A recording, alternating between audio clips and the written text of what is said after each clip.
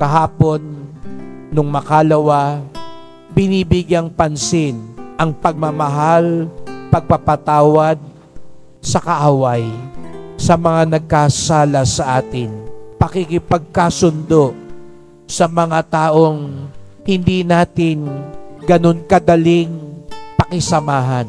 Ngayong araw na ito, ipagdasal din natin sapagkat bahagi ito ng ating ugnayan sa Diyos na maging maayos din ang ating ugnayan sa isa't isa.